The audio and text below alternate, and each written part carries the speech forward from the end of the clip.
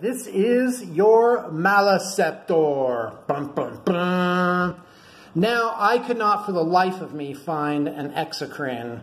They are out of production for the time being, uh, but I'm definitely getting it and finishing it as part of the project just when those come online. And in the meantime, I have made for you a proxy bonus no charge exocrine that is 3D printed.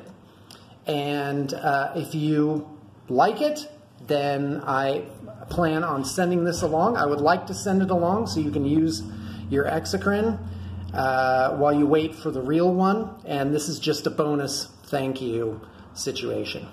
So uh, there he is. Uh, he's on the correct size base, of course. And uh, of course, this is the Maleceptor by Games Workshop, a genuine article. And uh, if you like, I'm ready to send out uh, both of these guys for your amusement and pleasure.